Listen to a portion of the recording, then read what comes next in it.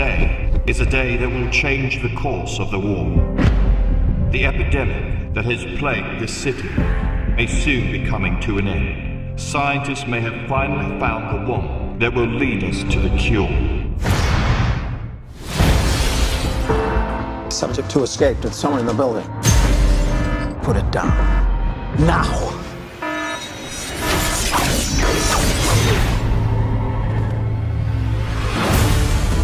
For 12 years, I was held captive by the humans.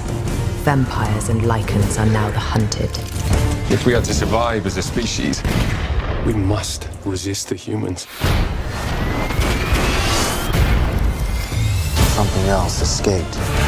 She's the only hybrid child who has ever existed. The humans and lycans will hunt her down at any expense. They're here.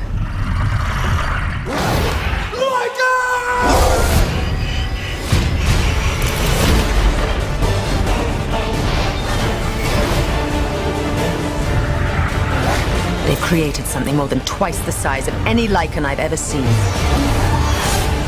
Whatever it is they want from her, it's worth dying for. Your kind will never be as powerful as us, no matter how hard you fight. You don't know me very well.